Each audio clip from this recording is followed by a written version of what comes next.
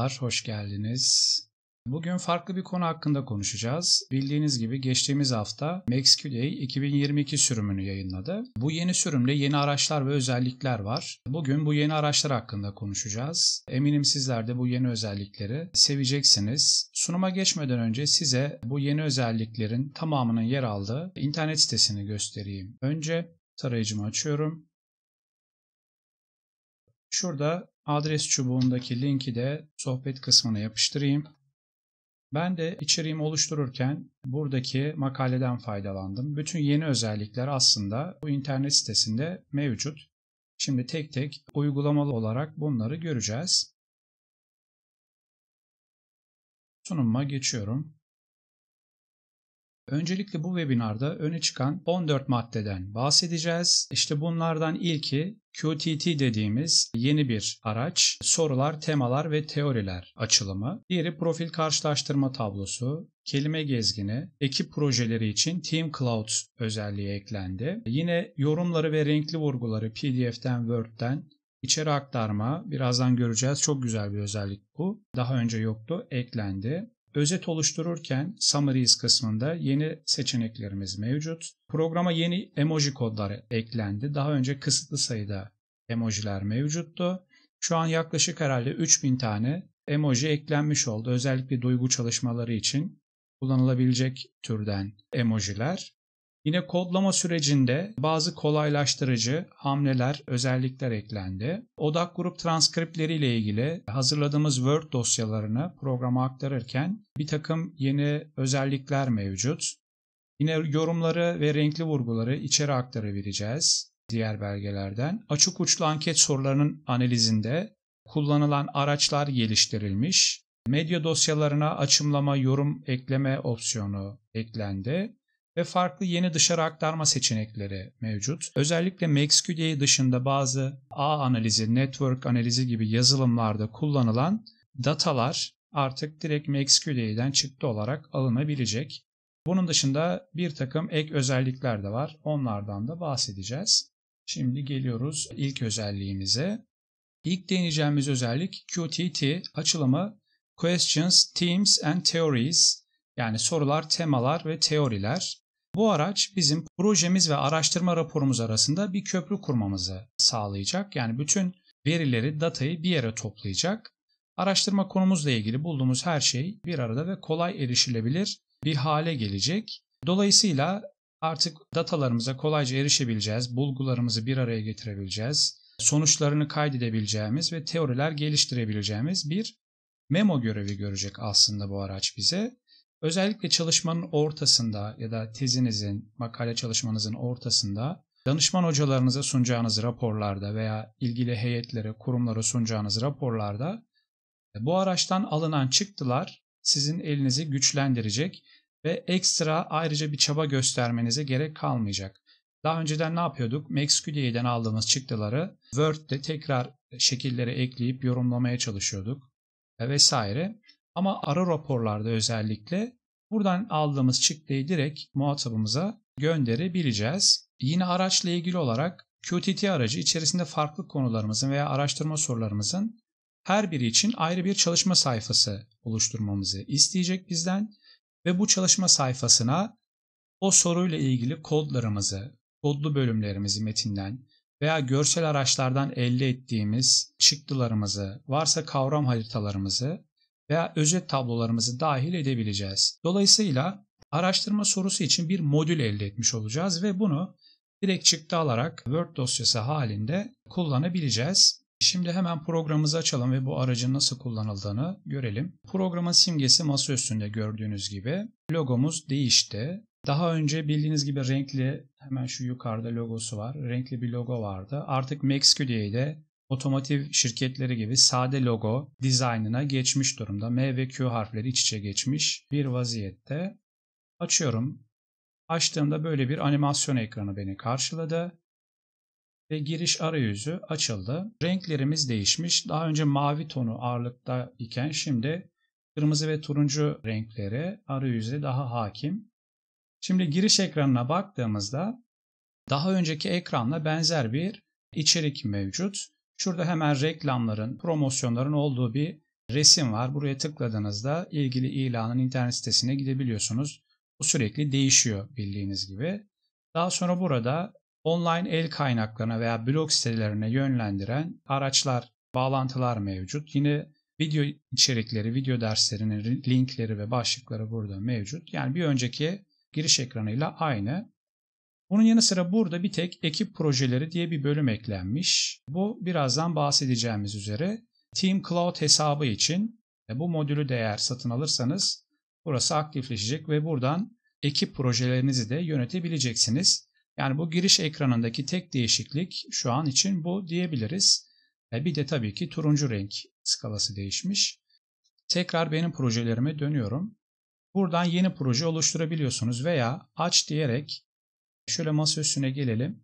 2020 MX20 uzantılı yani bir önceki versiyonla oluşturduğunuz proje dosyalarınızı da açabiliyorsunuz. Burada desteklenen tüm proje dosyaları uzantılarını görebilirsiniz. 2012 sürümünden itibaren hepsini buraya aktarabiliyorsunuz. Veya daha eski sürümleriniz varsa 2012'den benim bir kere başıma gelmişti.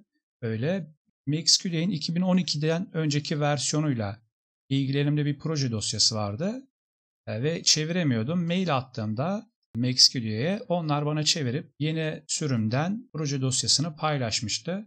Başınıza gelirse eğer o şekilde yardımcı da olabiliyorlar. Ben daha önce deprem çalışması için MaxQDA 2022 projesi oluşturdum. Buradan onu açıyorum. Program arayüzüm açıldı. Aynı şekilde burada da turuncu renkleri yine hakim. Diğer bütün menü ve alt bar opsiyonları aynı şekilde yine 4 tane ekranım burada mevcut. 4'ü de dizilmiş. Bir önceki sürümden farkı yok arayüzün. 2012'den 2018'e geçerken büyük bir fark olmuştu. Bu menü sistemi değişmişti. Ondan sonraki sürümlerde arayüz üzerinden çok değişiklik yapmıyorlar. Şimdi biz ilk olarak QTT aracına gideceğiz. Yani sorular, temalar ve teoriler aracına. Bunun için analiz sekmesine geliyorum. Hemen burada başta QTT sorular, temalar ve teoriler aracım e, gözüktü. Üzerine geldiğimde Ctrl Shift T kısa yolu ve bir açıklama mevcut burada. Önemli konular için çalışma sayfaları oluşturun. İlgili kodları, bölümleri, memoları, görselleri ve benzeri ekleyin. Anahtar içgörüleri kaydedin ve sonucu raporunuza aktarın diye aslında bütün süreci özetlemiş bize. Çalıştırıyorum aracımı. Bu şekilde bir ekran karşıladı beni. Şöyle büyütebilirim. Hatta buradan yazı boyutunu büyütebileceğim bir bölüm varsa tekrar başlatmamız gerekecek. Şimdi QTT ekranımız aşağı yukarı böyle bir ekran. İlk olarak şuradan yeni çalışma sayfası diyerek çalışma sayfası oluşturmanız gerekiyor. Ben daha önce bu derste göstermek için oluşturmuştum. O yüzden burası dolu bir şekilde geldi. Siz ilk açtığınızda muhtemelen boş olacak burası. İlk olarak çalışma sayfanıza bir isim vermeniz gerekiyor. Ben burada deprem QTT diye bir isim verdim. Daha sonra çalışmanızda ele alınan konu nedir? Buraya bir konu ekleyebilirsiniz. Ben burada depremzedelerin normal hayatı geçiş sürecine etki eden faktörler çalışmanın konusunu oluşturmaktadır diye bir metin ekledim. Siz bunu daha da uzun veya daha kısa bir şekilde ekleyebilirsiniz.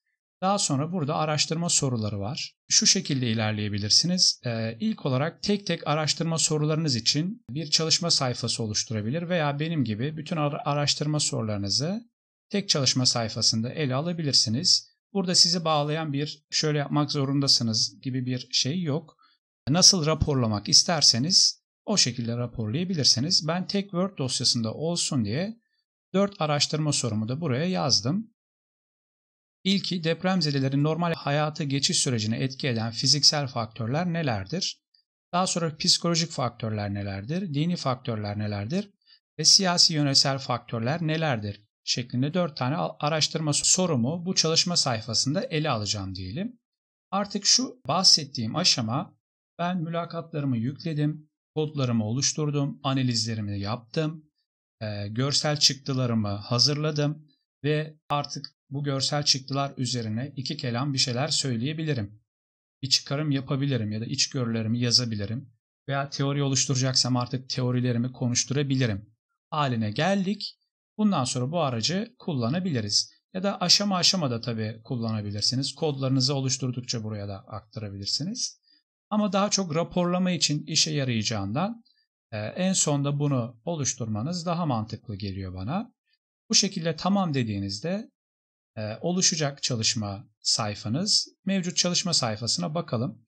Şimdi şurada bölümler var. İlgili kodlar ve temalar, önemli bölümler, özet tabloları, ilgili memolar, görseller, kavram haritaları ve entegrasyon diye bölümler var. Bunların hepsi benim şuradaki 4 tane araştırma sorumla alakalı şeyler. Benim bu çalışmamda yüzlerce ya da 500 tane kod olduğunu düşünün. Karmaşık bir çalışma içerisindeyim. Çok yoğun veri setim var. Ee, ama burada şu an sadece ilgilendiğim soruları görebiliyorum ben. Ee, ilk olarak buradan bu sorularınızı ilgilendiren kodlarınızı ekleyebiliyorsunuz. İlgili kodlar ve temalar diyor. Buradan ekle dediğinizde e, bizim mesela bakalım hemen fiziksel faktörler nelerdir demiştim. Şurada mesela e, fiziki ve çevresel faktörler kodum var. Bu üç kodumu buraya ekleyebilirim. Onun dışında psikolojik faktörler nelerdir demişim. E, şurada psikolojik faktörler kodlarım var, alt kodlarım. Bunları buraya ekleyebilirim. Bu şekilde benim e, bu araştırma sorumunda ilgili olan kodları buraya ekliyorum. Daha sonra buradan kodlu bölümler diye bir düğme oluşuyor. Tıkladığımda mesela yerel yönetimlerin tutumu koduna tıkladım. Bu bölümle kodladığım kodları da yine görmek istersem e, buradan görebileceğim tabii ki. Kaldırmak istediğiniz durumlarda sağ tuş yapıp çalışma sayfasından kaldır dediğinizde kaldıracak. Yine burada memolar var. E, memolarınızı da görebiliyorsunuz, kod memolarınızı. İlgili kodlarınızı eklediniz çalışma sayfanıza. Hemen şurada bir e, içgörü yazabileceğiniz, açıklama yazabileceğiniz veya bir memo diyebiliriz. Bir bölüm var. Ben şimdi burada ne yazdım? Araştırma sorularına cevap vermek adına yapılan içerik analizi sonucunda elde edilen kodlar eklenmiştir. Şu an danışman hocama rapor sunacağım. Böyle bir durumda açıklama yazıyorum burada kodlara. Neden buraya eklediğime dair ve renklerine göre tasnifi aşağıdaki gibidir diye bir not ekledim. Renkler her zaman çok önemli MaxQDA'de. Mesela depremzedelerin normal hayata geçiş sürecini etki eden fiziksel faktörler nelerdir? Bu benim sorumdu şu yukarıda yazan. Bu sorumla ilgili kodlarım pembe renkli kodlar diye belirttim burada. Dediğim gibi burada hiçbir not belirtmenize gerek yok. Zaten ilgili kodlar ve temalar gayet açık bir e, ifade. Burası Word dosyasına geldiğinde evet ilgili kodlar neler? Burada yer alan kodlar anlaşılır bir şekilde karşımızda. Ama yine yazmak isterseniz buraya açıklamalarınızı yapabilirsiniz. Ya da bu kodları buraya değerlendirecek sizin kendi ifadeleriniz de burada yer alabilir. Ben sadece bu çalışma için örnek olsun diye oluşturdum bunu. Daha sonra önemli bölümler kısmına geçelim. E, bu araştırma sorularımla ilgili benim katılımcılardan, katılımcıların ifadelerinden önemli gördüğüm kısımlar varsa bu önemli bölümler kısmına ekleyebiliyorum. Dolayısıyla raporumda birazdan bunlar da gözükecek. Ve bunlar da aynı şekilde olmasa da olur tabii ki. Buraya eklemek de son derece kolay. Mesela şuradan kod çubuğundan tutup sürüklediğinizde gördüğünüz gibi ilgili kodla kodlanan bölüm ihtiyacı olmayanlar nasıl açgözlü gibi saldırdı yardımlara diye bir bölüm şurada hemen. Ee, bu ilgili bölümler kısmına eklenmiş oldu. Daha sonra sağ tuş yapıp e, çalışma sayfasından kaldırdı diyebilirsiniz eklediğiniz kısımları. Kodlarımı, bu sorularla ilgili kodlarımı oluşturdum. Önemli bölümlerimi ekledim. 4 tane bölümün önem arz ettiğini, danışman hocamın da görmesini istediğimi düşünerek buraya ekledim. Daha sonra burada özet tablolarımız var. E, bu örnek için bir özet tablosu oluşturmadım. Ya da mevcut özet tablolarınızdan ekleyebilirsiniz. Öyle ekle diyelim. Mülakat özel tablosu var mesela. Bir aracı göstermek için oluşturmuştum özetleri. E, bu şekilde özet tablolarınızı da buraya ekleyip yorumlayabilirsiniz. Daha sonra ilgili memolar. Şuradan öge ekle dediğimizde bütün memolarımız açılacak. Eklemek istediğiniz memoları seçerek bu sorularla alakalı varsa eğer memolarınız ekleyebilirsiniz. Daha sonra görseller kısmı var. Burada görsel araçlar menüsünden çalıştırdığınız analizleri çıktıları buraya aktarabiliyorsunuz. Mesela burada bir kod matris tarayıcısı var. Hangi belgelerde hangi kodların ne sıklıkla geçtiğini ifade eden bir görsel araçtı bu. Daha önce de görmüştük hatırlarsınız. Bunu buraya ekleyebiliyorsunuz. Daha sonra altına da hemen bu tabloyu yorumlayıcı e, bir cümle ya da bir metin bölümü ekleyebilirsiniz. Ya da neden bu aracı çalıştırdınız kod matris tarayıcısını belirtebilirsiniz. Yine aynı şekilde kelime bulutu geri çağrılan kodlu bölümlerden oluşturulmuş bir kelime bulutu eklenmiş buraya. Kodlanan bölümlerden elde edilen kelime bulutu diye bir açıklama da eklenmiş. Özellikle çalışmanızın ilk başında metinlerinizde, veri setlerinizde hangi kavramların daha çok geçtiği, anahtar kelimeler çıkabilir buradan. Ve çıktıysa eğer mesela zengin, deprem var, eşim, aile vurgusu gibi önemli kavramları göstermek, üzerine konuşmak isterseniz buraya tabii ki ekleyebilirsiniz. Görsellerimizi de ekledik. Ee, bu arada buraya görsel nasıl ekleniyor birazdan göstereceğim. Herhangi bir görseli açtığınızda sağ tarafta QTT sayfasına gönder diye bir seçenek çıkacak. Oldukça basit. Ona bassanız da buraya gelecek bu görseliniz. Şurası boş bir şekilde. Daha sonra siz yorumlayacaksınız. Ee, aynı şekilde kavram haritaları yani Max Maps'ten aldığımız haritaları da bu 4 tane araştırma sorusuyla ilgili aldığımız haritaları da buraya ekleyebileceğiz. Mesela psikolojik faktörler, kod alt kod bölümler modeli haritası almışım ben. Ee, psikolojik faktörler kapsamında mülakatların metinlerini analiz ettiğimde en çok algı değişimleri ve hassasiyet kodunun e, vurgulandığını görmüşüm ve bununla ilgili de katılımcıların ifadelerini buraya ekleyebilmişim Max Maps'te. Bu önemli bir özellik. Yani sadece bu çizgisel tablonun yanı sıra katılımcıların ifadeleri de nitel çalışmalar için önemli. Bunları altta metinde tek tek uzun uzun yazmaktan ziyade harita üzerinde kolayca konumlandırabiliyorsunuz. E, MaxQL'in en güzel özelliği bu. Aynı şekilde bu e, faktörler nelerdir araştırma sorusu kapsamında elde edilen bulgular görseldeki gibidir. Bu faktör altında depremzedelerin normal hayata geçiş sürecinde algı değişimlerinin etkisinin büyük olduğu gözlemlenmiştir diye bu fotoğrafı ya da bu görseli yorumlayıcı bir ifade ekleyebilirsiniz. Şu an bu ifadeler tamamen bu çalışmada sizlere gösterebilmek adına eklendi. Yine aynı şekilde siyasi yönetsel faktörlerle de ilgili Max Maps alınmış, katılımcıların ifadeleri ve kod sıklıkları gösterilmiş. Diğer sorular için de alınabilir. Şu an ikisi var sadece. Bu şekilde e, ilgili kodlarımızı, önemli bölümlerimizi, özet tablolarımızı, memolarımızı ve görsellerimizi ekledik artık bu çalışma sayfasına. En sonunda da entegrasyon bölümü var. Yani artık bu teori kısmı siz sorularınızı, temalarınızı oluşturdunuz. En son hepsini değerlendirip teori haline getireceksiniz diyelim. Bir sosyal bilimci olarak ya da e, nitel araştırmacı olarak diyelim. Bu, bu kısımda da ilgili e, sonuçlarınızı, içgörülerinizi ya da teorilerinizi belki hani ilk raporlama aşamasında kim teori geliştirebilmiş ki diyebilirsiniz. O durumda da hocanızla paylaşacağınız sonuç yorumlarını buraya ekleyebilirsiniz. Hocam bütün bunları neden yapıyoruz diye sorarsanız eğer, e, şimdi bütün bu görseller, kavram haritaları, kodlar, memolar programda bir yerlerde var. Ama hepsi dağınık bir yerde. Mesela kodlarınız burada. Görsel araçları görmek için her seferinde tek tek çalıştırmanız lazım. Ya da Max Maps'i açıp ilgili haritaları tek tek bulmanız lazım. Ama bu araç hepsini bir arada bir yerde verdiği için ihtiyaç duyduğunuzda e, bunlara kolayca erişim sağlayabileceksiniz. Güzel yanı bu.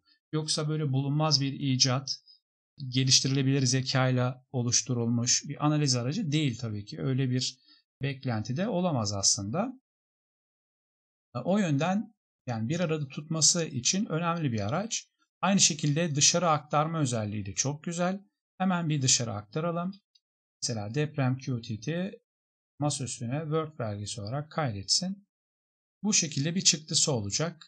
Tarihimiz var yukarıda. MaxQD'in 2022 sürümünden elde edilmiş bir belge. Çalışma sayfamızın adı var burada deprem QTT diye. Siz buraya atıyorum hocanıza göndereceksiniz eğer ya da danışmanınıza. Ee, daha güzel bir çalışma sayfası adı verdiğinizde daha güzel bir başlığınız olabilir. ya da Word dosyasından düzenleyebilirsiniz. Hemen burada az önce belirttiğim konu mevcut. Daha sonra araştırma sorularım, az önce yazdığım araştırma soruları burada ifade ediliyor. Hocanıza sunduğunuz bu raporda hangi araştırma soruları ile ilgili bilgi aktarıyorsunuz onu, onu burada belirtmiş oluyor. Daha sonra bir içindekiler tablosu oluşturmuş, oluşturmuş bize. PDF olarak dışarı aktardığınızda bastığınızda ilgili sayfaya gidecektir. Şimdi bakalım. İlk etapta kodlarımız var. İlgili kodlar ve temalar. Yani bu dört soruyla ilgili e, benim oluşturduğum kodlar var ve renklerine göre sıralanmış. Renkleri de burada gösteriliyor. İfadelerin birazcık daha büyük ifade edilseymiş daha güzel olurmuş. Ama yakınlaşınca zaten herhalde ölçeklendirilebilir bir dosya olduğunu düşünüyorum. Evet değilmiş. Daha sonra bununla ilgili bir öneri de bulunabiliriz. Bu kod e, ifadelerin biraz büyütülmesi gerekebilir. E, bu biraz daha yani karşılıklı gelişimli bir süreç kullanıcılarla e, program üreticiler arasında. Bu tarzda önerilerinizi her zaman sunabilirsiniz eminim. Çok da iyi onlar için de iyi bir şey olacak sizin eleştirileriniz, önerileriniz. Ve ben de bu programları kullanırken her zaman ön yargıyla yaklaşıyorum. Ön yargılı bir şekilde kullanıyorum. Ee, yani tamamen böyle hayran bir şekilde kullanmayın. Elbet eksik yönleri olacak.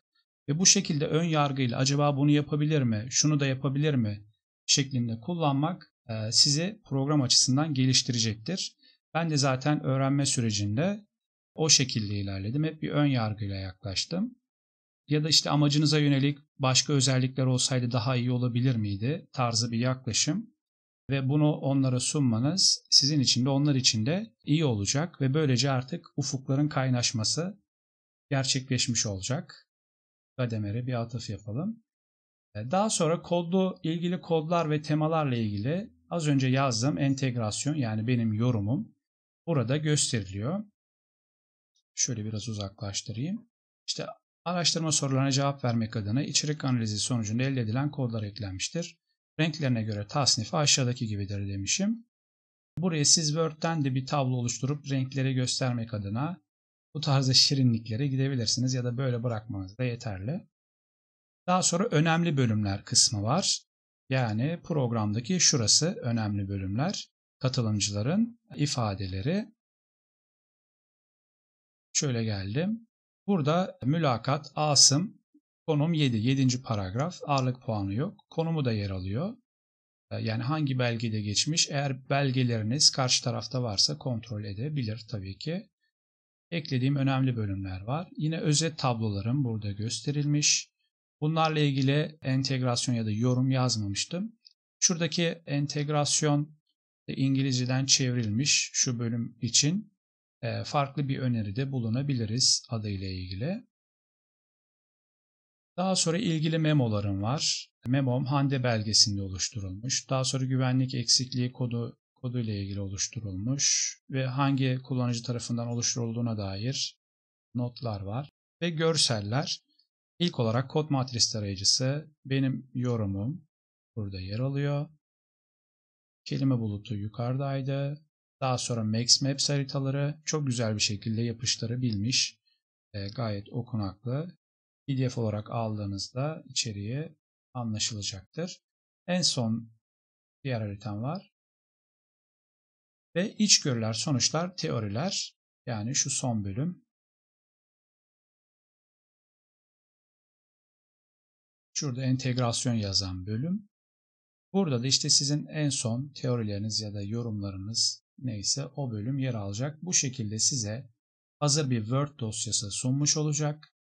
Ee, ekstra bir çaba sarf etmeden diğer türlü bunları tek tek oluşturmak, maddelendirmek oldukça meşakkatli olacak. Yani çift dikiş bir iş olacak. Zaten programda hala hazırda vardı bunlar.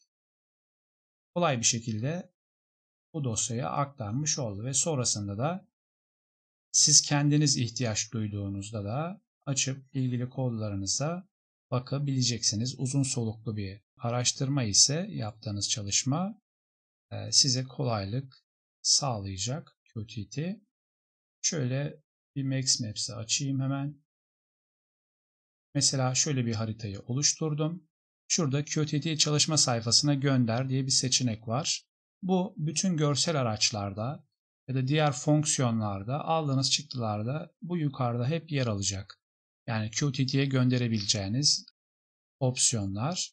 Şöyle tıkladığımda QTT e, mevcut deprem veya video QTT'lerine, çalışma sayfalarına gönderebileceksiniz.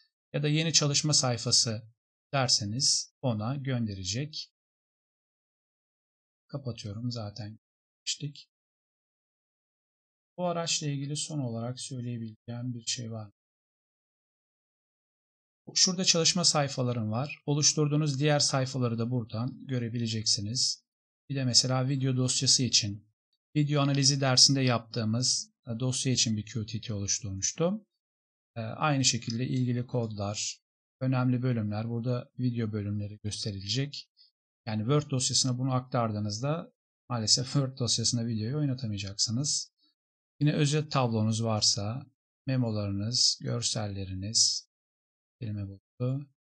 Kavram haritalarınız burada gösterilecek, dışarı aktarılabilecek. Bu özellikle ilgili benim anlatacaklarım bu kadar. Çok sevdiğim bu özelliği muhtemelen aktif olarak da kullanacağım bir özellik. E, en çok süreyi buna ayırmak istedim. Umarım anlaşılabilir, anlaşılır olmuştur.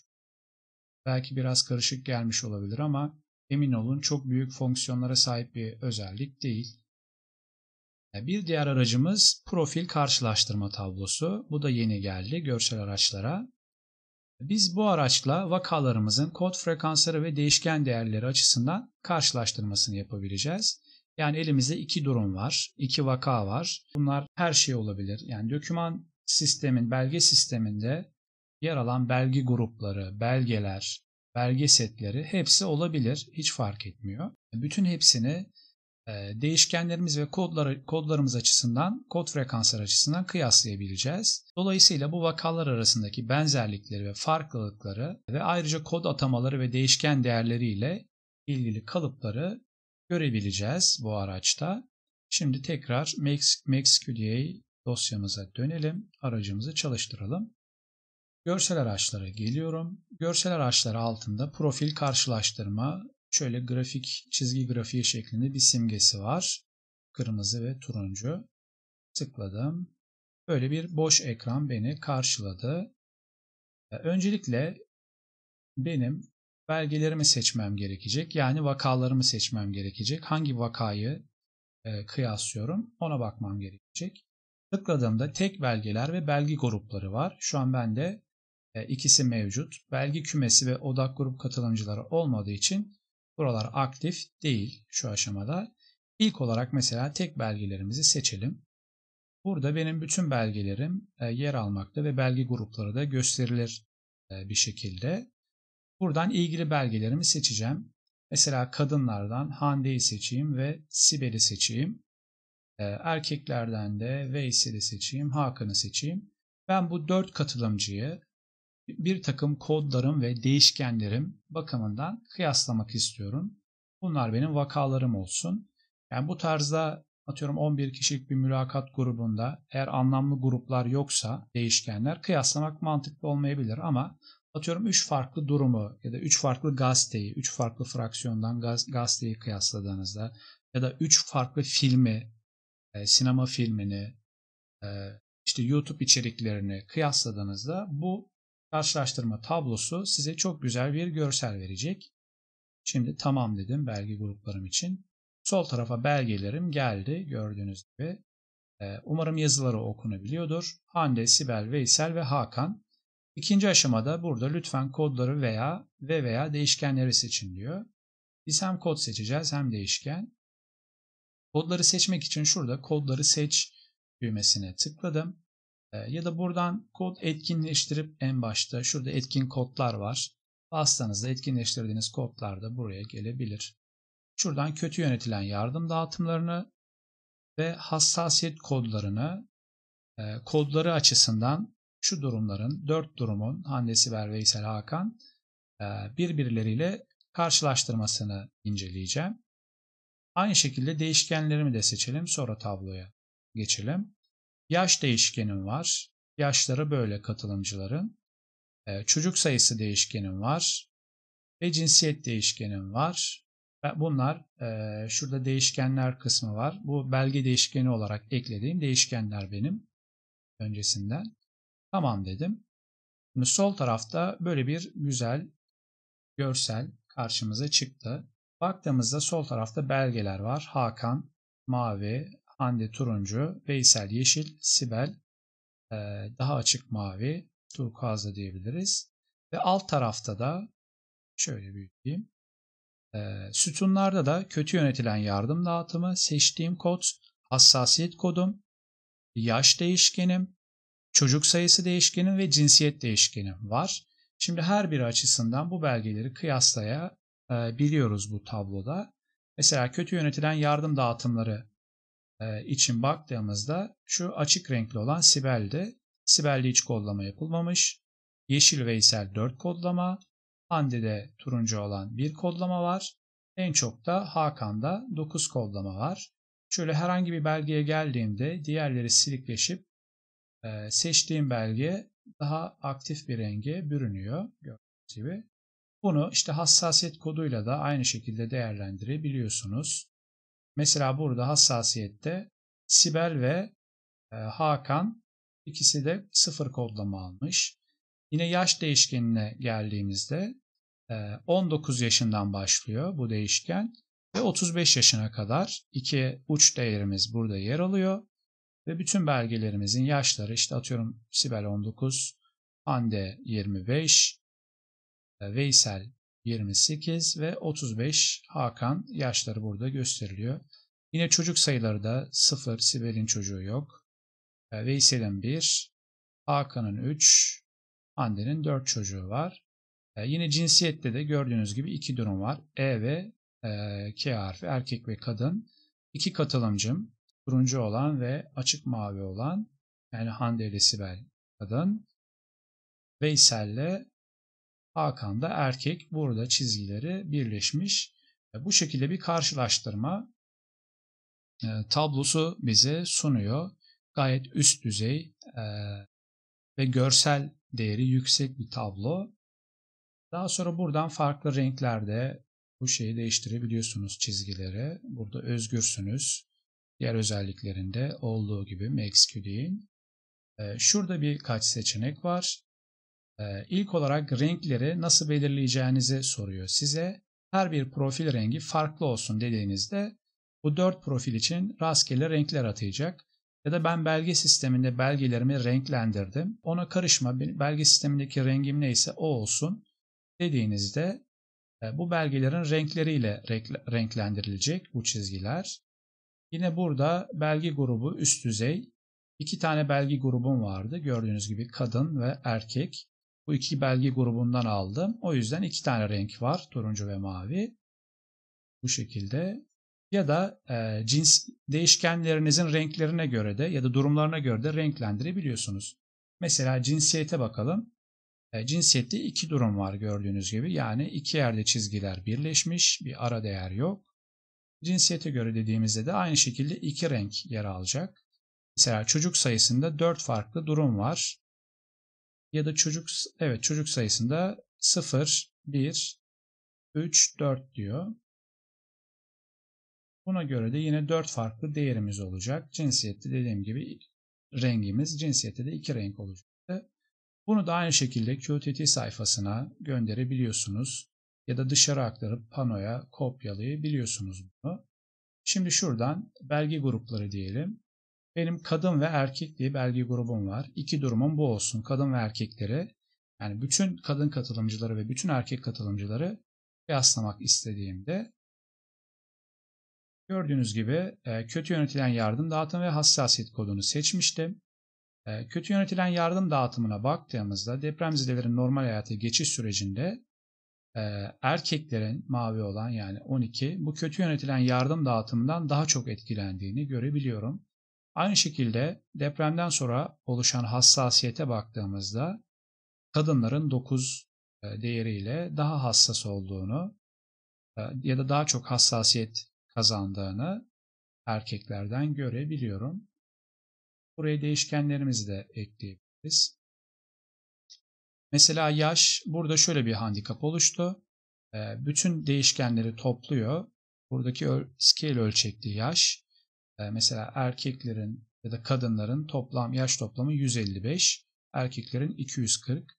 Bunu şurada ortalama diye bir düğme var. Seçtiğimde artık yaşların ortalaması da gösterilebiliyor.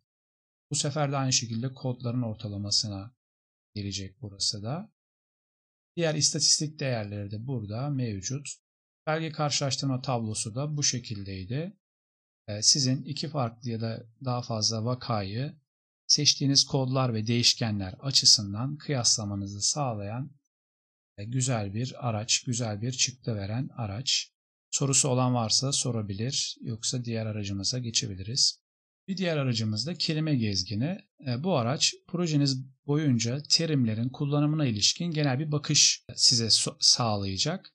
Mesela deprem kelimesi hangi belgelerde, hangi özet ve e, sizin ifadelerinizde, yorumlarınızda daha sık yer almıştır? E, hangi kelimeler bir cümlede depremle birlikte daha sık geçmiş? Bu gibi veya bunun benzer birçok sorunuza cevap bulabileceğiniz bir araç. Bu araçta hem içe aktarılan metin verileri, bunlar pdf'leriniz, metin dosyalarınız nelerse, hem de aynı şekilde sizin metin girişleriniz yani memolar olabilir, yorumlamalar, yorumlar olabilir, açım, açımlamalar ya da özetleriniz, sizin ağzınızdan çıkan kelimelere de aynı şekilde bir analiz gerçekleştirecek araç. Hemen programıma döneyim. Bu araç için analiz sekmesine geliyorum. Şurada kelime gezgini ABC diye bir logosu var yukarıda. Tıkladım. Şöyle bir ekran karşıma çıkacak. Kelime gezgininde şöyle büyüteyim.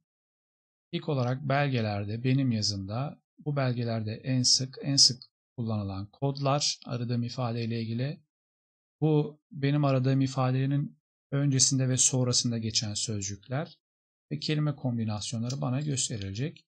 Şurada yukarıda sadece etkinleştirilmiş belgeler ve kodlar diye seçenekler var.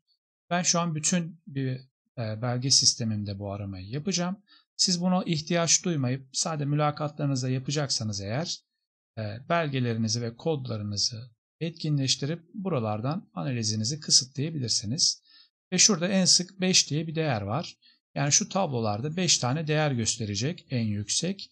Bunu arttırıp e, çıkartabiliyorsunuz. Maksimum kaç yapabilir? Herhalde. Evet en sık e, 50'ye kadar gidiyor burası. Biz 5 yapalım. Daha sonra aramak istediğim buradan aynı zamanda e, arama opsiyonları da mevcut. Büyük küçük harf duyarlılıkları ya da başlangıç harflerine girip ya da sadece tam sözcükleri bulmanızı sağlayacak opsiyonlar diğer arama özelliklerinde nasılsa aynı şekilde var. Mesela deprem kelimesini keşfedelim biz. Keşfet dedim. Bütün bölümlere tek tek buluşlar geldi gördüğünüz gibi. Mesela belgelerde bu belge sistemimde 162 tane buluş var. 162 yerde deprem geçiyor. Ee, bu 11 belgede geçmiş deprem. İki tane de belge grubunda yani bunlar kadın ve erkek belge grupları. Belge setim yok. Onunla ilgili bir değer yok. Şuraya tıkladığımda interaktif bir tablo. Bana bu 162 buluşu 11 belge ve 2 belge grubunda çıkaracak. Yani sanki bir arama yapmışız gibi sonuç verdi. Bana şurada belge isimlerim var, belge gruplarım var. Deprem geçen bütün kelimeler burada. Yine otomatik kodlama diğer arama sonucunda elde ettiğimiz buluşlara hangi işlemleri yapabiliyorsak aynılarını buraya da yapabiliyoruz. Yine 11 belgeler diye bir düğme var. Tıkladığımda bu belgeleri etkinleştirdi gördüğünüz gibi. Yani burada 100 tane belgeniz olduğunda acaba bu 11 belge hangisi diye bir sorunuz varsa tıklarsınız bu 11 belgeye. Sonrasında da şurada diyorum sadece etkinleştirilmiş belgeleri gösterdiği bir düğme var. Buna bastığınızda diğer bütün belgeleriniz gösterimden kalkar.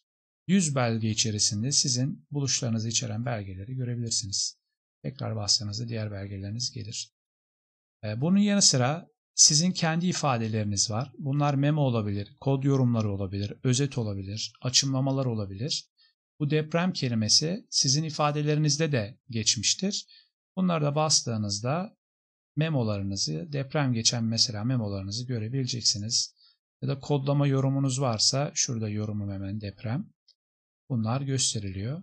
Kapattığınızda bu e, analiz birimi kapanacak. Tekrar bastığınızda açılacak. Yine bu belge hangi belgelerde en sık geçmiş buna bakabiliriz. Mesela Hakan'da 27 kere geçmiş. E, deprem kelimesini içeren e, ilk en çok içeren belgem Hakan 27. Şu sol taraftaki çubuk, çubuklar belge içerisinde hangi belgede daha sık geçtiğini sembolize etmiş. Sağ tarafta da kesik kesik çizgiler var gördüğünüz gibi. Bu da deprem kelimesi belge içerisinde hangi pozisyonlarda geçmiş onu gösteriyor. Mesela Emre'ye baktığımızda ortası boş gördüğünüz gibi. Bir baş kısımda geçmiş deprem, bir de sonda geçmiş. Sizin eğer her zaman konuştuğumuz gibi dökümanlarınız, e, mülakat transkripleriniz e, belli bir mantık sırasına göre paragraflar dizilmişse siz buraya baktığınızda A Emre e, hangi sorularda deprem kelimelerini geçirmiş görebiliyorsunuz. Birinci ve atıyorum 30. soruda deprem kelimelerini geçirmiş gibi bir öngörü yapabiliyorsunuz. Hakan'a baktığımızda metnin neredeyse her yerinde deprem kelimesini geçirmiş, ağzından düşürmemiş diyebiliriz. Ee, böyle bir istatistik veriyor. Buraya da tıkladığımda e, bu deprem kelimesini sadece bir belgede yani o belgemizde Hakan, Hakan belgesinde geçen deprem buluşlarını bize buluyor. Daha sonra kodlama yapmak istediğinizde buradan otomatik kodlamalarınızı yapabiliyorsunuz. Diğer belgelere de tıklarsanız geçecektir oraya. Daha sonra burada deprem ifadesi hangi kodlarla kodlanmış en çok onu görebiliyoruz. Mesela 19 kere algı değişimleriyle kodladığım yerlerde deprem geçmiş.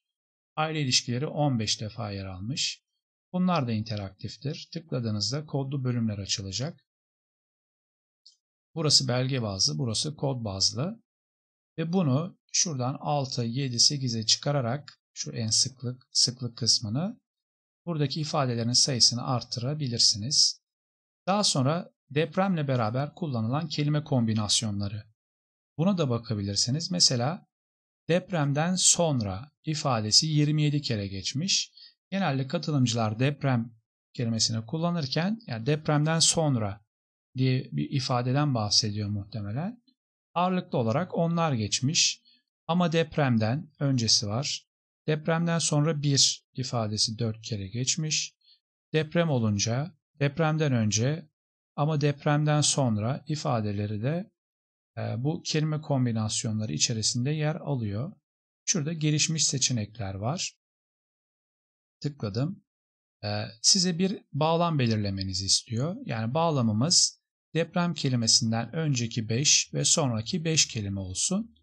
Bu önceki ve sonraki 5 kelime bağlamına baktığında aşağı yukarı bir cümle olacak. Yani deprem cümlesi bağlamında en çok kullanılan sözcük sonraymış. 40 kere geçmiş.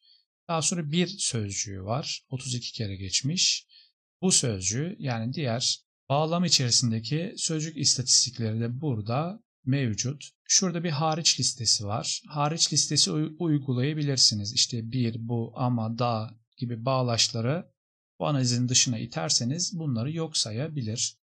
Buradan tabii ki bağlama arttırabilirsiniz. Bağlama arttırdıkça şeyler değişecek. Frekanslar. Yine bu da interaktiftir. Bütün birleri bulacak. Ayrıca depremden sonra bir. Gördüğünüz gibi bu bağlam içerisinde geçiyor ilgili bağlamı bulacak. Kelime gezgini aracı da bu şekilde sizin metniniz içerisinde e, özellikle anahtar kavramlarınız, anahtar kelimeleriniz varsa e, bulup karşınıza getirmek için e, çok kullanışlı bir araç olmuş. Bu da benim hoşuma gitti diyebilirim. Sorusu olan veya bir fikri olan bu araçla ilgili belirtebilir. Acaba şu olur mu hocam ya da şu olsaydı daha güzel olurdu diye konuşabiliriz elbette. Herhalde sorusu olan yok. Bir sonraki araca bakabiliriz. Evet, bir diğer özelliğimiz de Team Cloud modülü. E, bu da yeni gelen bir modül. E, ekip çalışmaları için geliştirilmiş aslında. E, bunu da lisans satın alırken ayrıca paketinize ekletmeniz gerekiyor. Kullanıcı sayısına göre bir ücretlendirmesi mevcut. Yani normal lisansın dışında bir ücret ödemeniz gerekiyor. Team Cloud hesabı için. Ee, Team Cloud ile ekip projelerinizde dediğim gibi dosyalarınızı bir bulut alanı aracılığıyla kolaylı ve güvenli bir şekilde e, diğer ekip üyeleri arasında paylaşabiliyorsunuz. E, bu sistemde analizlerinizi çevrim dışı gerçekleştirip paylaşımı çevrim içi yapacaksınız. E, bu noktada MaxQDA sizin ekibiniz içerisindeki iletişimi kolaylaştıracak ve dosyaların birleştirilmesi konusunda, organize edilmesi konusunda size ciddi bir katkı sağlayacak. Aşağıdaki gibi öncelikle Team Cloud hesabınıza şurada Team Cloud sekmesi var menü çubuğunda. Buraya geldiğinizde MaxQDA Team Cloud oturum açma diye bir düğme var. Buraya tıklayıp siz lisansı satın alırken tanımlamış olduğunuz Team Cloud hesabınızı, mailinizi ve şifrenizi açmanız gerekiyor. Bu sistemde yani team ekip çalışması deyince insanın bir gözü korkuyor açıkçası. Özellikle daha önce e, nitel veri analizi programlarıyla bir ekip çalışması yürütmediyseniz ya nasıl olacak diye aklınıza gelebiliyor. Çünkü e, atıyorum 5 kişi var. Her her birisi dosyalarını hazırlayacak, kim birleştirecek, nasıl birleşecek, gözden bir şey kaçacak mı e, gibi sorular oluşabiliyor. Bu sistem içerisinde birazdan döngüden bahsedeceğiz. Böyle düşünüldüğü gibi zor, karmaşık bir süreç değil aslında. E, iki tane failimiz var bizim e, bu süreçte. Birisi, birincisi lider yani ekip lideri. E, projenin yürütücüsü diyebiliriz buna. Bunun Team Cloud hesabı, lisansı alması gerekiyor. Bunun dışında diğer failimiz ya da faillerimiz de üyelerimiz, ekibin içindeki diğer üyeler. Üyelerin ayrıca bir Team Cloud için lisans parası vermesine gerek yok. E, bu Team Cloud lisansı alındığında atıyorum e, bir tane lider 5 tane üye şeklinde alınıyor. Diğer üyeler e, bağlantı linkiyle ekibe dahil olup çalışmalarını yürütebiliyor. Şimdi bahsettiğim döngü, proje döngüsü bu aslında ekip çalışması için. Çok da karmaşık değil. Şimdi tek tek bu adımlarını göreceğiz. İlk adımımız ekip liderinin Team Cloud'a proje yüklemesiyle başlıyor. Mesela şurada Work-Life Balance proje dosyasını açıyor buradan. Team Cloud sekmesine geliyor. Hesabına giriş yapıyor. Daha sonra hemen şurada Team Cloud'a proje yüklemesini sağlayacak bir düğme var. Buna basarak mevcut projeyi, buradan açtığı projeyi Team Cloud'a yükleyip ilk cycle'ı, cycle döngü, bunu artık döngü diyeceğiz biz, ekip çalışması döngüsü. İlk cycle'ı başlatması gerekiyor. İkinci adımda da Cloud'a yükledikten sonra ee, ekip lideri diğer üyeleri projeye davet etmesi gerekiyor. Bunun için Team Cloud web sitesine girecek. XQD'in e, bu lisans satın aldığınızda bunların hepsi size verilmiş oluyor. Buradan diğer araştırmacıları mail adresiyle ekibe davet edecek. Onlar da katılırsa eğer Join Project diyerek ekibe katılacak ve aynı şekilde Recent Activity diye bir alarm oluşuyor programda, ekip çalışmalarında ve ekip lideri kim katılmışsa katılanları görebiliyor. Daha sonraki adım cycle'ın yani döngünün diğer adımı ekip üyelerinin proje dosyasını MaxQD'ye MaxQD'ye indirmesiyle başlıyor. Şurada hemen Team Projects kısmında e, eklenen yani ekip lideri tarafından eklenen proje yer alıyor. Bunu indir indirmeye müsait. İndirerek kendi bilgisayarına yani lokal hard diskine indiriyor.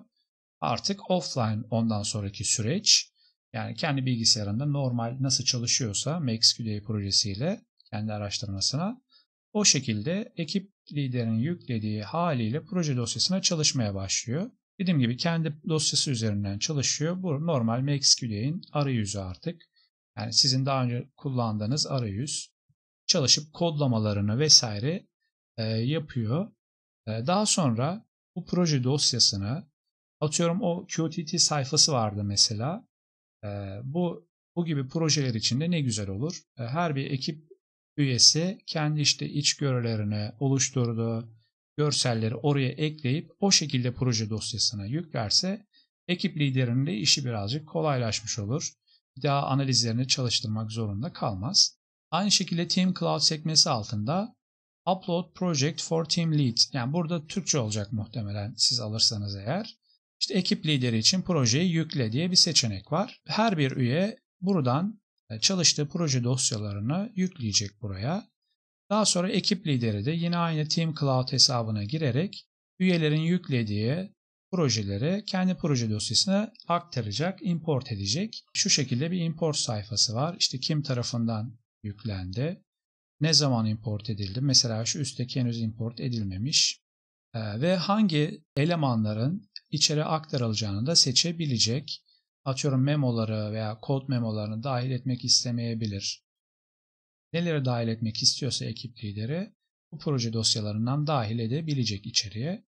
Bir sonraki adım eğer çalışma olgunlaşmışsa yani ekip üyelerinin aktardığı proje dosyaları evet bu cycle'ın bitmesi artık gerçekleşebilir ve toplanıp yazılacak artık süreç. Ekip lideri projeyi sonlandıracak. Şurada Export as Local Project diye bir seçenek var. Buna bastığında artık bu team şeyinden proje dosyası çıkmış olacak ekip projesinden. Veya ekip lideri hayır bu henüz uygun değil bitirmeye. İşte tek tek ekiple konuşabilir ya da ekibin yaptığı analizlere yorumlar, açımlamalar ekleyerek tekrar yeni bir cycle, yeni bir döngü başlatabilir. Bu döngüyü başa alabilir. Aynı şekilde tekrar upload dediğinde şurada mesela start cycle 4, dördüncü çevrimi başlat diye bastığında bu sefer ne olacak? Bu süreç tekrar baş, başa dönecek. Ekip üyeleri gelecek giriş sayfasından mesela cycle 2 diyor.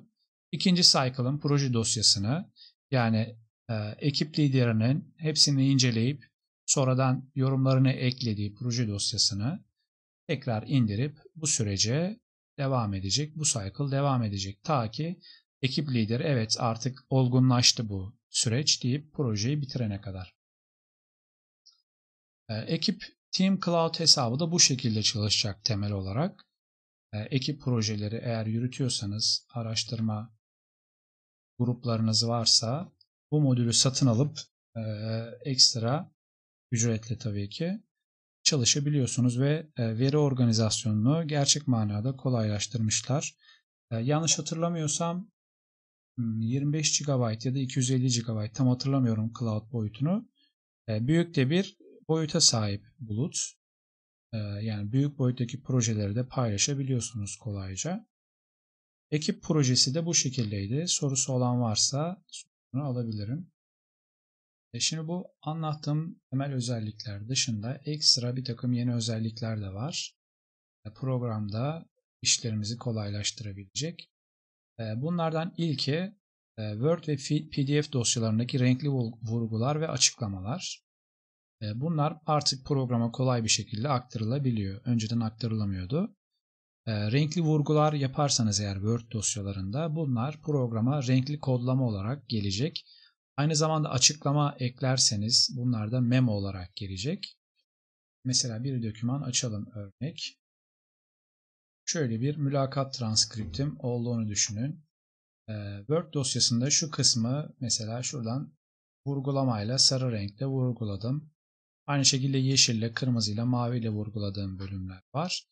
Bir de açıklama eklediğim yani şu şekilde Word'de açıklama özelliğini kullanarak eklediğim açıklamalar var. Sağ tuş yapıp yeni açıklama dediğimizde bu açıklamaları ekliyoruz. Bunlar da artık programa memo olarak gelebiliyor. Bu çok güzel bir özellik.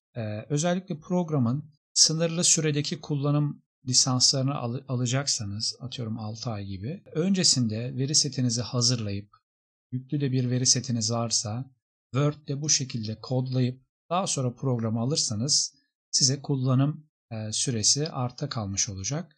Aktardığınızda ufak bir e, işlemle atıyorum her renk için bir kod olsa sadece renkli renklerin isimlerini değiştirerek kodlamanızı da yapmış olabilirsiniz. Ya da memolarınızı memolarınıza bakarak kodlarınızı oluşturup kodlamalarınızda e, yap, kolayca yapabilirsiniz. Size e, süre kazandıracak. Özellikle ilk deneme sürümüyle deneme sürümünü kullanıp analiz yapmak isterseniz e, öncesinde bu yola başvurmak size zaman kazandıracak. Programda deneyelim. İçe aktar sekmesine geliyorum. E, metin pdf'ler, tablolar dedim. Masa üstünden Ayşe 12 Word dosyasını seçiyorum. Şuraya aktarıldı. Şu aşağı alalım. Belgemiz aktarıldı gördüğünüz gibi. Şurada hemen memolarımız var. Yani e, çevresel faktörler diye açıklama eklemiştim ben Word dosyasında. O buraya gelmiş oldu. Yine şurada bir memom var. Bu kısmı da aile ilişkileri diye bir memo oluşturmuştum.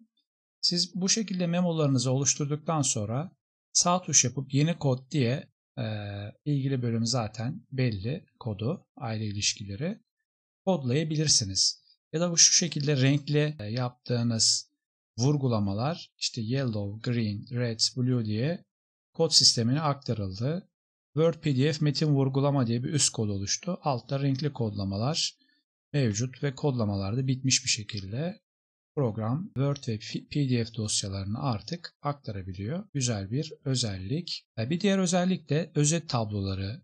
Özet tabloları ile ilgili birkaç yer güncellendi.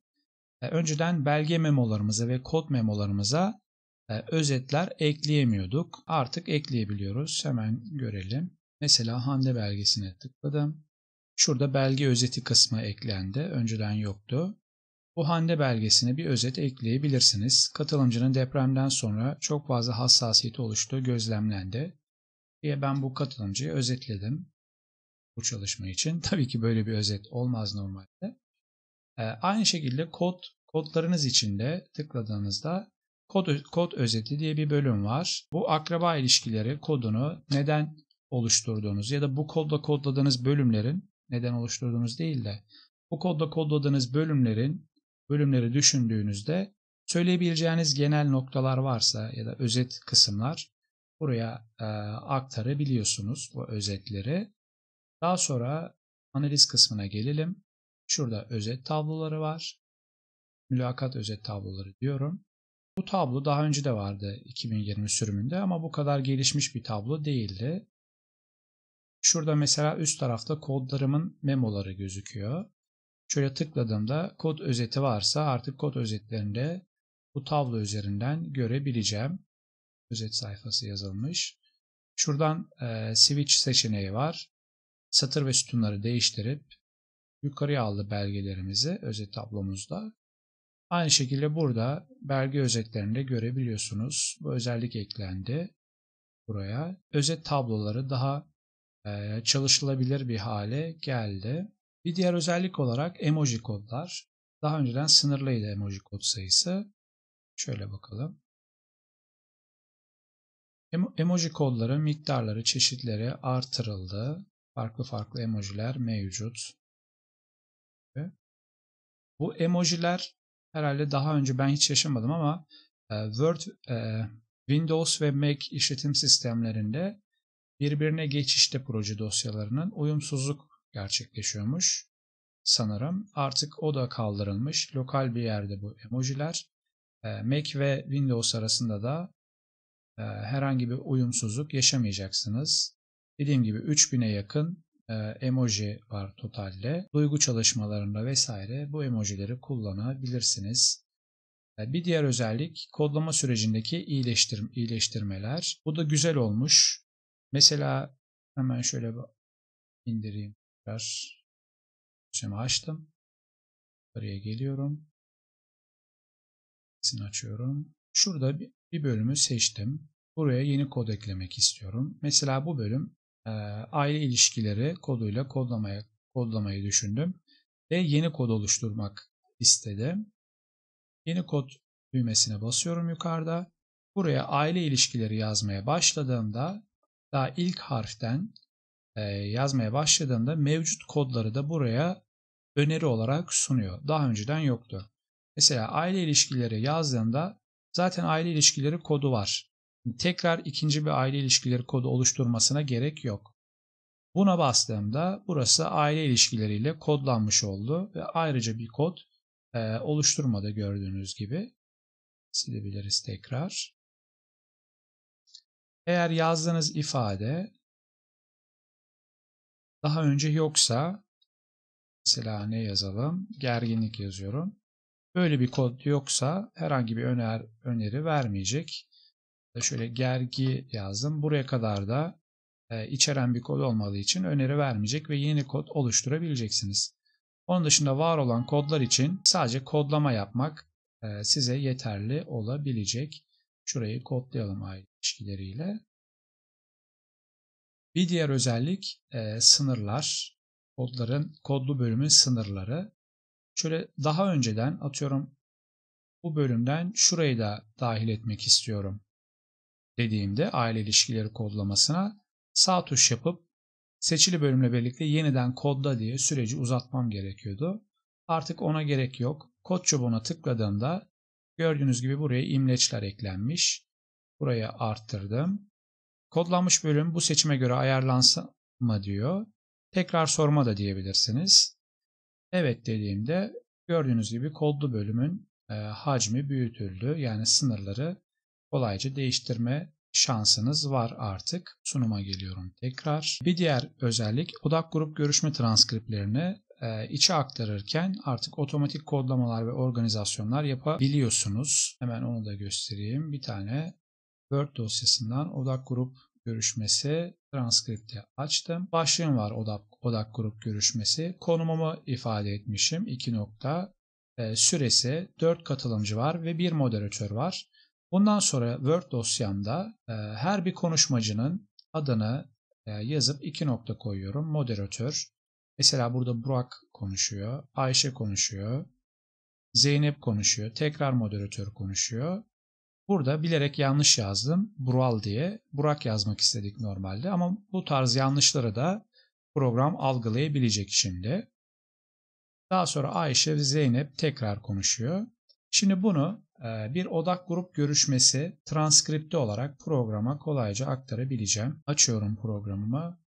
İçe aktar dedim. Burada odak grup deşifreleri var. Zaman etiketi olmayan bir deşifre ekleyeceğim ben. Şuradan Gülsüm seçeneğini aç diyorum. Bana yakaladığı konuşmacıların isimlerini birazdan otomatik kodlama yapacak çünkü bu konuşmacılarla ilgili sundu. Öncelikle kod renklerini değiştirebiliriz. Mesela ilk başta konum ve süre vardı. Bununla ilgili bir otomatik kodlama oluşturmasına gerek yok. Ee, ben ilk etapta sadece konuşmacılarımı görmek istiyorum. Bu tikleri kaldırdım. Şuradan renklerini belirleyelim. Pek sarı olmasın. Sarı çok görünen bir renk değil çıktılarda. Daha sonra bakıyorum moderatör, konuşmacı. Mesela şurada Bural var gördüğünüz gibi. Bu Burak kısmını yanlışlıkla e, Bural yazdığımızı varsayalım. Bununla ilgili bir tane konuşma var. E, moderatör iki kere konuşmuş. Burak bir kere konuşmuş. Ayşe iki, Zeynep iki. Bu istatistikler de burada mevcut. Ama ben bu Bural kısmını Burak'a taşımak istiyorum. Bunun için şurada konum kısmı var. Konuşmacı ve konum, hedef. Pardon konum değil, hedef kısmı. Konuşmacım Bural, Bural yazan kısmı ben, hedefim e, Burak olsun istiyorum. Burayı da e, Burak'a taşımasını istiyorum. Bu şekilde değişiklikleri yapabilirsiniz. Ya da moderatörü de Burak'a taşıyabilirsiniz. Hiç moderatör yazmayacak. Onlar da Burak'a eklenmiş olacak. Bu şekilde iyileştirmelerimi yapıp içeri aktar dedim. Gördüğünüz gibi burada bir odak grup e, belgesi oluşturdu. Programlardan içeri aktardığımız belgeler gibi. Ve ilgili konuşmacıların bölümlerini de otomatik olarak kodladı. E, ve burada odak grup konuşmacıları kodlarını da oluşturdu. Alt kısımda ilgili kodlarımız da yer almakta. Bu şekilde Word belgelerinden kolay bir şekilde odak grup görüşmesi transkriptlerinizi içeri aktarıp otomatik olarak kodlayabiliyorsunuz artık. Sorusu olan varsa sorabilir her zamanki gibi. Bir sonraki slaytıma geçiyorum. Bunun dışında anket verilerindeki açık uçlu soruların analizi için anket verisini kategorilere ayır diye bir aracımız vardı.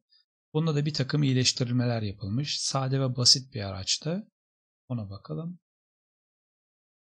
Şurada anket verilerim var. Daha önce e, vakit kaybetmeyelim diye bir anket verisi dosyasından anketlerimi içeri aktardım ben. Şöyle açtığımızda 3 soruluk bir anket ve 3 e, soru da değil aslında anket numarası var burada. Ve bir tane açık uçlu sorusu var. Bence daha iyi bir süreç geliştirilebilir. Bunu ben geçici olarak yazdım. Şurada açık uçlu soru cevabı ve açık uçlu soru diye program bunu anket verisine aktarırken kodluyor zaten otomatik olarak. Ee, burada açık uçlu sorularım var ee, ama diğer anket verileriyle beraber bunlar tabii ki. Benim bu açık uçlu soruları görmek için veya kodlamak için tek tek belgeleri açmam lazım. Ya da buradan kodlu bölümleri açıp kodlu bölümlerden ilerleyebilirim. Ama e, bunların yerine e, bu özellik için geliştirilmiş bir aracım var. Onu kullanabiliyorum. Analiz kısmına geldim. Şurada anket verisini kategorilere ayır düğmesi var. Buraya bastım. Program anket verilerini içeri atarken her bir soruyu kodluyor burada güzel bir şekilde. Evet anket kodları. Açık uçlu soru. 114 tane bölüm var. Açık uçlu bölüm. Buraya sürükledim. Bu özellikle karma yöntem çalışmaları için e, güzel bir seçenek olabilir. Sadece etkinleştirilmiş belgeler değil. Tamamı için baksın. Tamam dedim. Bana açık uçlu soruların tamamını getirdi. Gördüğünüz gibi 114 bölüm vardı. Hepsi burada yer alıyor. Ben artık şurada bütün kodları görüntüle diyerek bu açık uçlu soruları, metinleri okuyup e, kodlamalarımı gerçekleştirebiliyorum. Şöyle kötü yönetilen yardım dağıtımları kodlarımı sürükleyebiliyorum. E, bu daha önceki araçta da vardı buraya kadar olan bölüm. Ama şurada arama ve otokodlama özelliği eklenmiş mesela. Sadece burada yer alan açık uçlu sorular, sorular içerisinde ya da cevaplar içerisinde e, bir arama ve otokodlama işlemi yapabiliyorum. Buraya arama girdisi girince ilgili bölümler açılacak. Şurada bir büyüteç var. Mesela şuraya soru yazayım. Arama yaptım burada. Daha hızlı bir arama. 57 bölüm gösterildi soru diye. Bu kısımları hızlı bir şekilde otomatik olarak kodlayabiliyorum. Daha önceden yoktu. Ee, yine burada sözlüğünüz varsa eğer bir sözlük sistemi, sözlük bazında da sözlükte yer alan kelimeler ile de bir otomatik kodlama yapabiliyorsunuz. Ya da MaxQL'in istatistik özelliğine, e, modülüne de bu sayfayı aktarabiliyorsunuz. E, bu da açık uçlu soruların analizinde e, eklenmiş birkaç iyileştirme ve güzel özellik. Devam ediyorum. Bir diğer iyileştirmede e, kod matris tarayıcısı yeni çıktı dosyası oluşturulmuş kod matris tarayıcısında.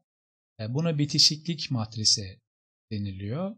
Özellikle bu ağ analizi, network analizi yapan programlar, programlarda çalışacaksanız MaxQDA'dan aldığınız verilerle e, daha önceden oraya entegrasyonu yoktu. Sizin bayağı bir düzeltme yapmanız lazımdı elle. E, şimdi bu eklenmiş. Muhtemelen bu da kullanıcı geri bildirimleriyle eklenen bir süreç. O yüzden yani ben bu etkileşimi ufukların kaynaşması olarak görüyorum. Siz de kendi analiz sürecinizde şu da olsa daha güzel olabilir dediğiniz noktalar emin olun eklenecektir değerlendirilip. Şimdi kod ilişkileri tarayıcısını çalıştırdım. Öncelikle birkaç kod etkinleştireyim. Kodlarım. Kodlarımın birbiriyle olan ilişkilerini gözlemleyeceğim. Bütün belgelerde. Tamam dedim. Şu şekilde bir tablo verdi bana.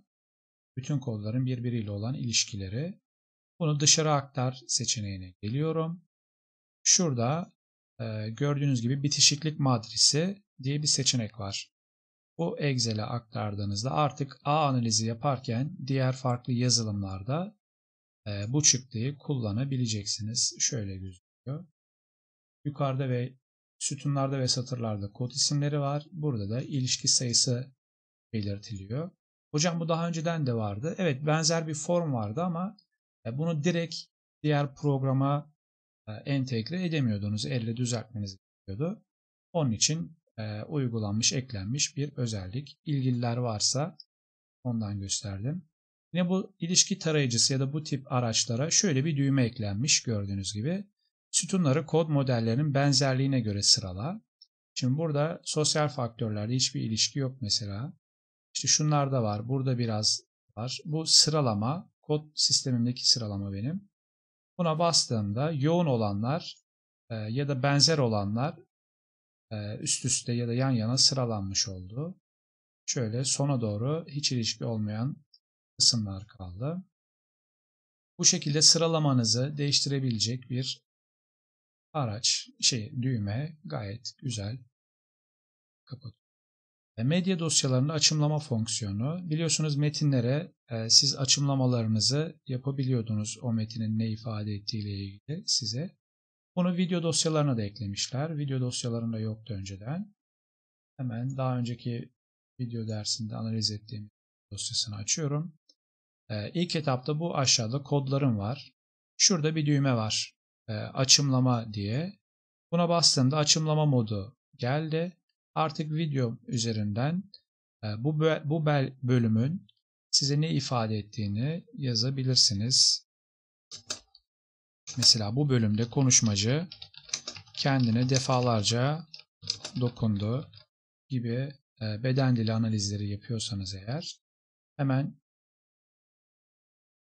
aşağıda e, açımlanmış bölümler diye bir kod oluşturuldu. Bunu şurada açımlamaları kategorilendir. Gördüğünüz gibi YouTube tanıtım YouTube belgesinde yaptığımız açımlama yer alıyor. Bu bölümde konuşmacı kendine defalarca dokundu. Bu medya dosyalarındaki açımlamaları da yani sizin kendi ifadelerinizde daha sonra kodlayabiliyorsunuz. Atıyorum videonun bu bölümünde herhangi bir metin ya da kodlanacak bir şey yok ama siz ekleyip kodlamak istediğinizde bu açımlamaları yaparak kodlamalarınızı ekleyebiliyorsunuz. Devam ediyorum. Belge profilleri diye bir düğme eklendi. Belgelerinizin genel bir özeti, raporlar dedim. Belge profillerine basıyorum. Sadece etkin değil, hepsi için. Şuradan isterseniz değişkende profilde göstermesini istediğiniz değişkenleri de ekleyebilirsiniz. Tamam dedim. Excel dosyası olarak hazırlayacak belge profillerini açıyorum. Şu şekilde sol tarafta belgeleriniz sıralandı. Belge gruplarınız, belge isimleriniz var. Eğer bu belgelere eklenen memolar varsa memolarınız burada. İşte yaş, çocuk sayısı, cinsiyet gibi değişkenleriniz, bütün belgelerinizin. Ee, diğer diğer değiş he, burada da kod istatistikleri var. Oluşturduğunuz kodların istatistikleri. Sadece belirli kodları etkinleştirip mesela afet hak etme algısı belirli kodları etkinleştirip onlar üzerinden de bu görseli alabiliyorsunuz. Yani bütün belgelerinizin bir e, özetini size sunmuş oluyor bu araç. Devam edelim. Bunun dışında PDF belgelerinde e, sayfa döndürme işlemi daha önce yoktu. Mesela bazı tarama, özellikle tarama sonucu elde edilen PDF'lerde sayfaların yönü e, karışmış olabiliyor. Bunu daha önce atıyorum Adobe'un bir uygulamasında düzeltmeniz gerekiyor.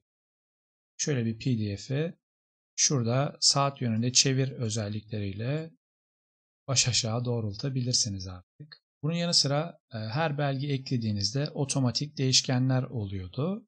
Bunların sayısı arttırılmış.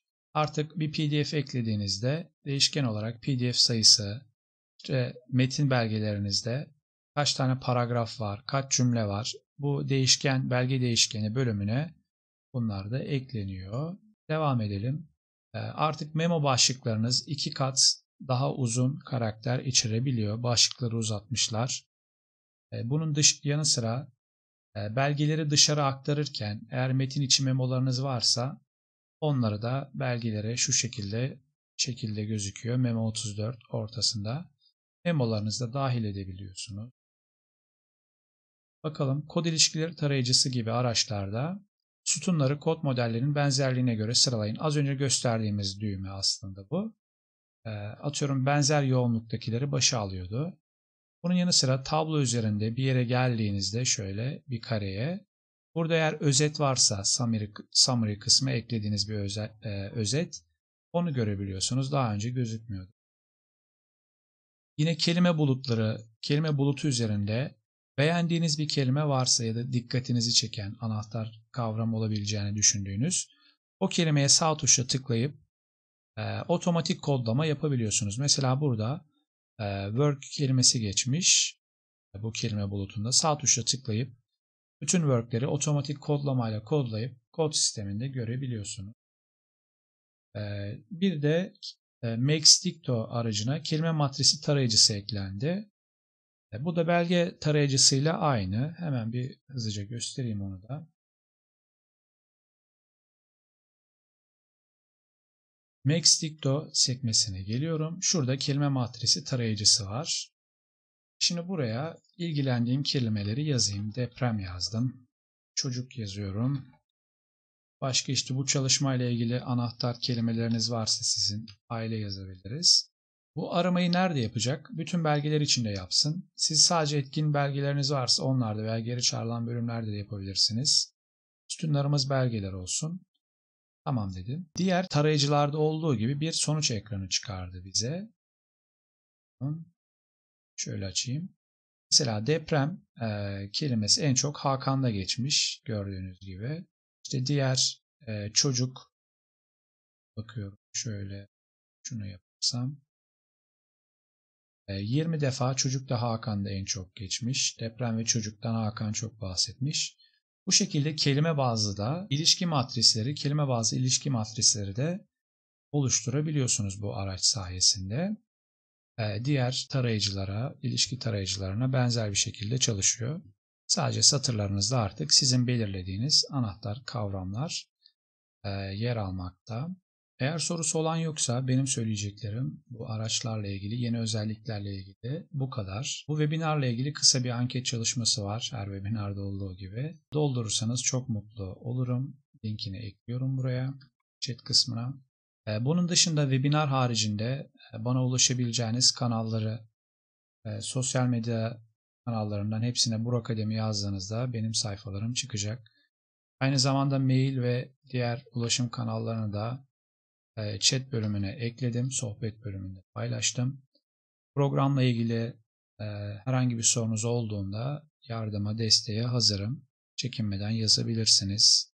Bu webinarla ilgili benim söyleyeceklerim bu kadar. Katılan herkese çok teşekkür ediyorum. Umarım e, verimli bir webinar olmuştur. Diğer Aralık ayı webinarları da eklendi MaxQL'in sitesine.